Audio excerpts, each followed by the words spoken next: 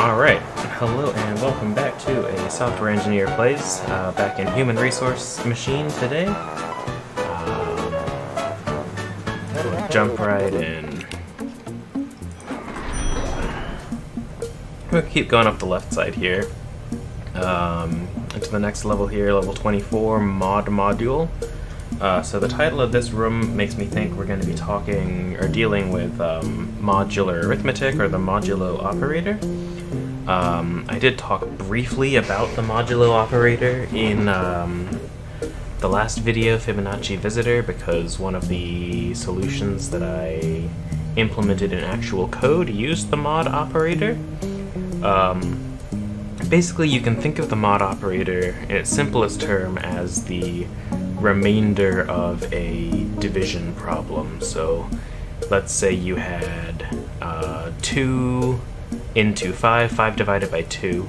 Um, your result is 2 remainder 1, um, which, so uh, 5 mod 2 is 1, because the remainder of that division problem is 1. Anyway, let's jump in and see if uh, we have to implement modulo here. How many hours of work can you fit into one day? Some would say 24, others would say 40, who knows, let's see, not enough. Alright, there's always a sad remainder of unworked hours. Good thing we have these optional night shifts to cram in more. Okay. Okay, so... We don't have to worry about negative numbers, that's a nice thing, because modulo gets interesting with negative numbers, but, um... It looks like we have to compute the remainder of the operation of dividing the second number into the first. So in the case of these two numbers, we have 9 and 2. Um, so 9 mod 2 is going to be the remainder of 9 divided by 2, um, which in this case would be 1, because 9 divided by 2 is 4 remainder 1. So I think what we're going to have to do here, first and... Well, obviously we need to get numbers from the inbox. I'm gonna go ahead and copy to zero, and then get second, uh, second and copy to one here. So this will be, um, uh, we'll call it A. This will be B. and then we want to, like, we have B in our hands now, and we basically just want to subtract from A until we have a negative number. Um, and once we get a negative number, we know that we have a negative or zero. Um, we'll know that we've reached the end of the, the loop condition. So let's see. We want to subtract. We want to pick up A and subtract B from it. So copy from A and subtract B. So let's just double check to make sure that's working correctly. Good so far. Good. Get a seven. That's that is to be expected. okay. So let's go ahead and copy it back to A. And then we can jump up to there. So this will continue, but now the important thing is um, we want to I mean this isn't going to be optimal because we're going to end up with two jumps here, but we will see if there's a way we can rework the logic so that it's um, going the other way around. Uh, actually, I'm remembering the way we did the Fibonacci problem is instead of subtracting the smaller number from the bigger number, we just ended up going the other way around. So let's try that, because I think that'll let us... Um, so instead, of, we don't need the copy from A anymore, we can just subtract A. And then I don't know where we're going to want to copy that to. We'll copy that to a new spot for now. Called result. And then if it is a negative number, we want to loop again. Um, I think. We're gonna need a copy from in here. Eh, let's see what happens. Alright, we get 6, we get 2, we subtract A, and we get a negative 4. We subtract A again, get a negative 10. Okay, so something is not quite right here. We don't want to subtract, uh, we want to pick up um, oh boy. We want to keep a record of um,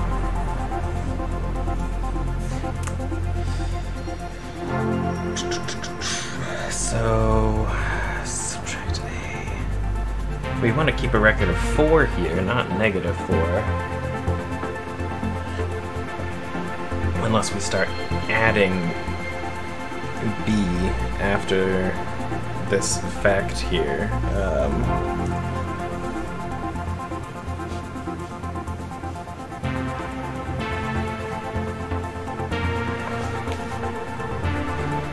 so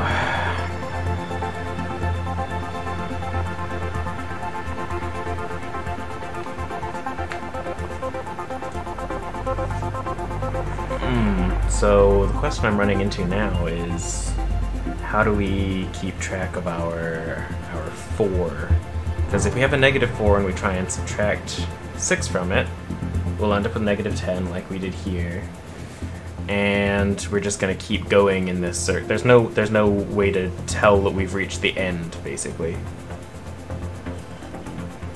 Because we do need to um, subtract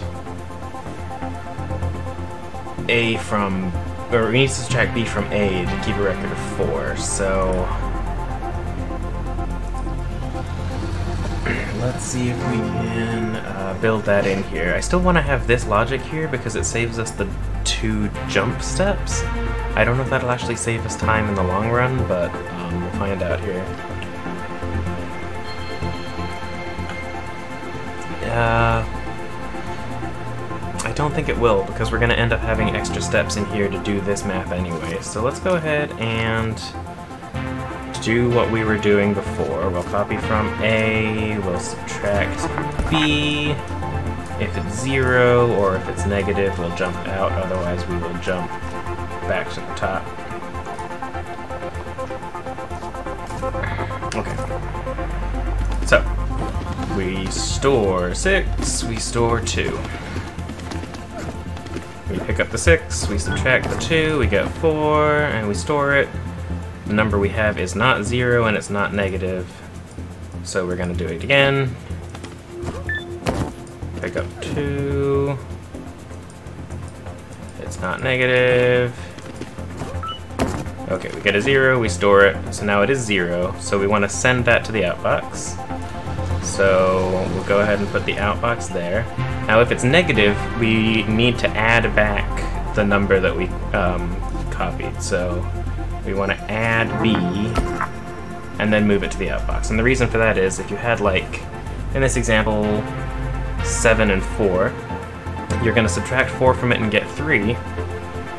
Going to subtract 4 from 3 and get negative 1. Now that's negative, but 7 mod 4 is 3 because 7 divided by 4 is 1 remainder 3. So you need to add back the 4 that we subtracted to get the, the correct number, the, um, the 3 there. So that should now work.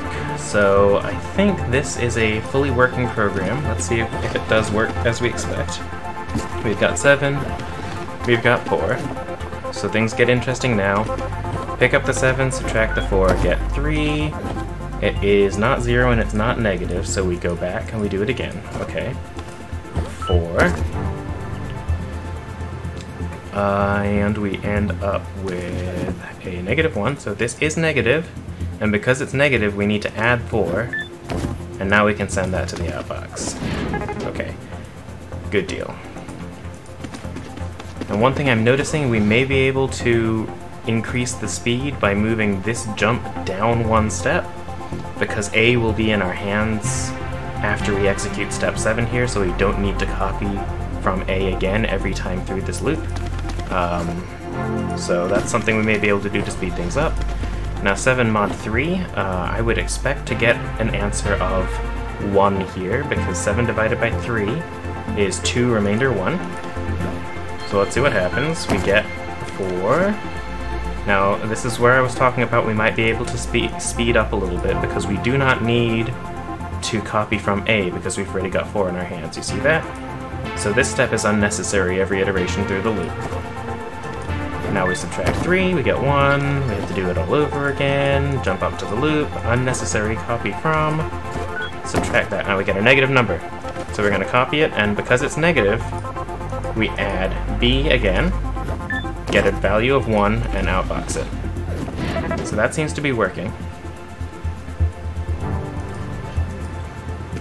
And now we'll do... This is going to be an interesting example.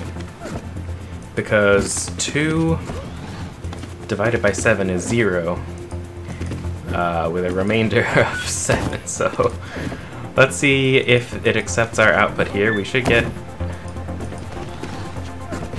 Okay, so yes. 2 divided by 7 is 0 with a remainder of 2, so that's that's expected. Now 0 divided by 7 is going to be 0.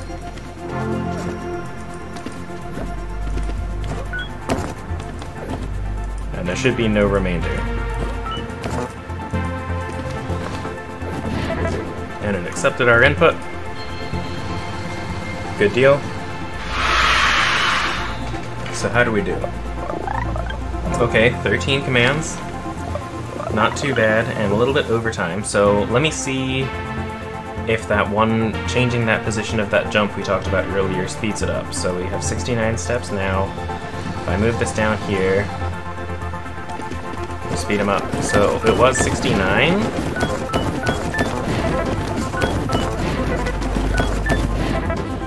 And now it is...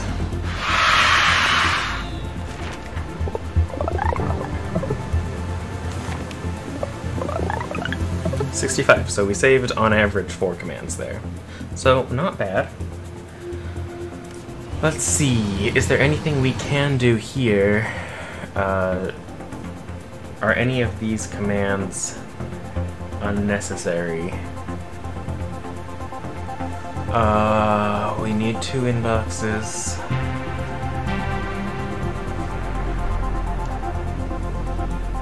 we got a copy from A, and we gotta start subtracting B. Do we need to copy to A every time? Maybe not. Maybe we don't need to keep a record. Let's find out.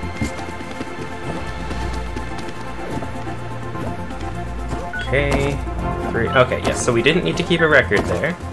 So that saved us our block, and now we've hit the size um, size requirement. Having that copy 2 in there was kind of nice to see the process happening, but it wasn't really necessary. So now we've checked this box. Which is good. Oh, and we checked that box too. Awesome. Well, fantastic. Uh, so really cool little program there to um, introduce the concept of modular arithmetic. Um, modular arithmetic is something that's really useful in computer science. Uh, if you're doing something where you want to do basically, I mean, I use it all the time at work. If I'm doing something a lot of times and I want to update a progress for, uh, meter every 100 steps or something, I can say if my iterator mod 100 equals 0, then update my progress meter. It's really useful for checking if a number is even, because any number mod 2, if the answer uh, is 0, that means it's even, because any even number divided by 2 will have no remainder, right? Um, so it's very useful for checking if a number is odd or even. Uh, if you are laying things out in a grid, um, so you had 25 items in an array, and you wanted to lay it out in a 5x5 grid, you can use the modulo uh, operator to um, find out which position in the array you are and display things in a grid. It's super useful and it's super cool to really be able to uh, show you how it works in these building blocks like this. So, modular arithmetic, super cool stuff. Also, a lot of implications in cryptography. Um, that's probably a, a larger field that I want to try and discuss in the last couple minutes of this video, but um, mod modular arithmetic is hugely important when it comes to cryptography and computing um, symmetric keys and other things which keep your data safe as you are sending things back and forth over the internet, as you're logging into YouTube to watch this video. Uh, modular arithmetic was used to make sure that your data was safe and wasn't going to be intercepted and decrypted by some bad actors. So modular arithmetic gets a big thumbs up from me. Uh, if you liked this content, I would appreciate it if you gave the video a big thumbs up. Uh, hit the like button, maybe consider subscribing, and um, share with a friend, share with two friends, share with however many friends you like. Uh, I'd really appreciate it. Anyway, thank you very much for watching. I hope you have a great day. Uh, and, um, yeah, go out there and do some modular arithmetic. Alright, bye.